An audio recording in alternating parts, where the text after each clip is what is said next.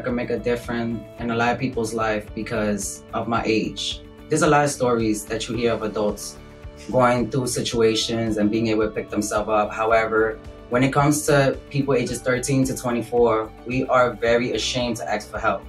And I personally tell my story a lot because I'm trying to be the voice for those who are ashamed. And the main thing I would say is if you're going through anything when it comes to trauma from your from your childhood or substance use, is not to feel alone.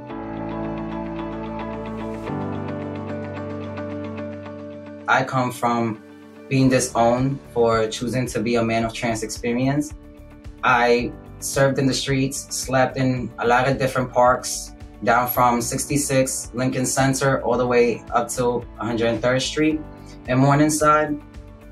To this day, I've found myself going to college and I graduate next year for criminal justice.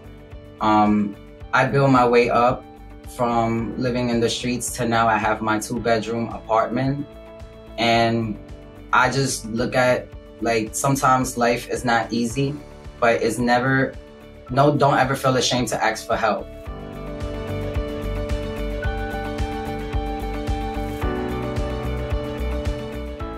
People who identify as trans use substances because we come from a lot of trauma. We use these drugs just for us to numb our pain that we've gone from our past trauma in order to gain confidence and be who we want to be.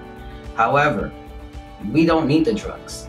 The drugs doesn't make us. We are who we are. For myself, I only use crystal meth in order for me to numb my pain and be who I am now. It's very difficult to stay clean. But when you do talk to somebody and you work on your mental health, trust me, it's the best best feeling to be sober.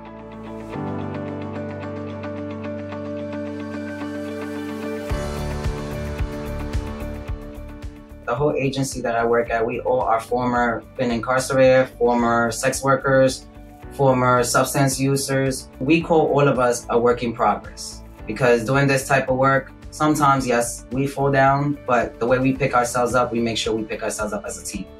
The good thing about this agency that I'm at, that the work can sometimes be very difficult, especially when we deal with a bunch of cases.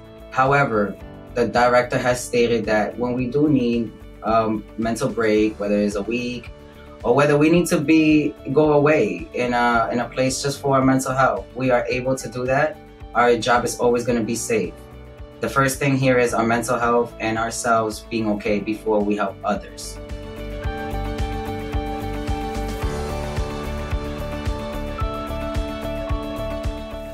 I personally would say the value I provide is hope, love, and know that your life matters.